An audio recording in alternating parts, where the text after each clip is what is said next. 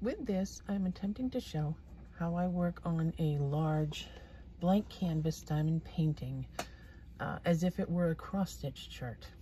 So, up here we have the cross-stitch chart in the Pattern Keeper app. And you can see the uh, larger um, dark lines here. Those are uh, 10 by 10 squares. And on this, we have also 10 by 10 squares.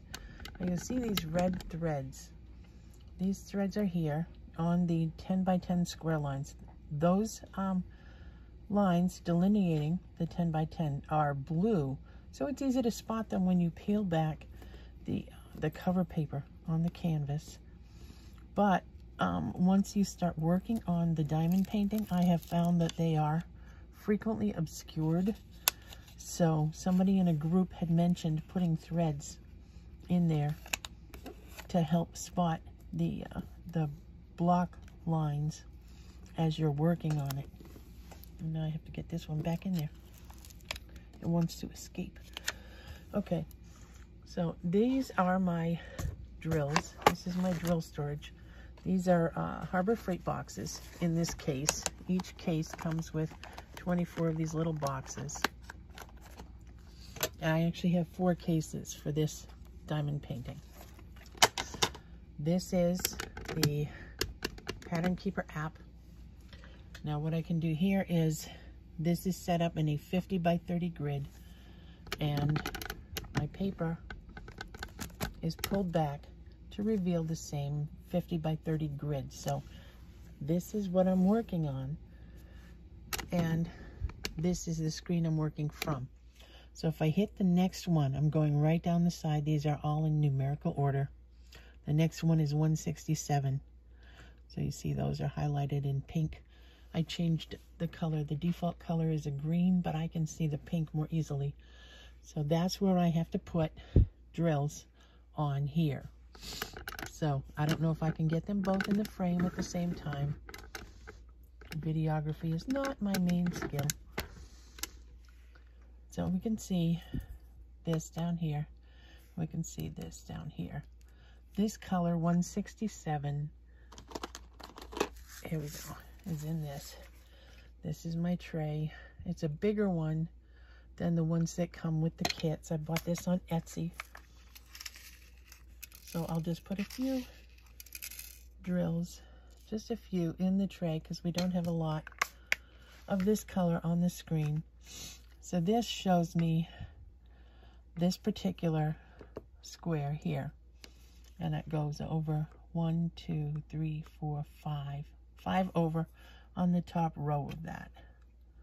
So I pick up one drill and I'll go one, two, three, four, five. Okay, the next one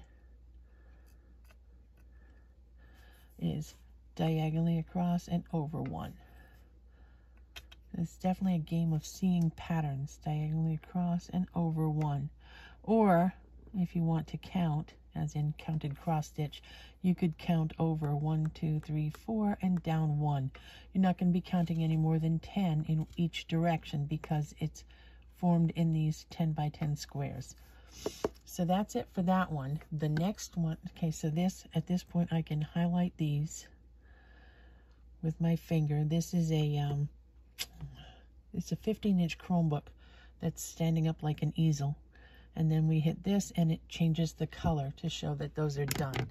The next one, we have three in that square.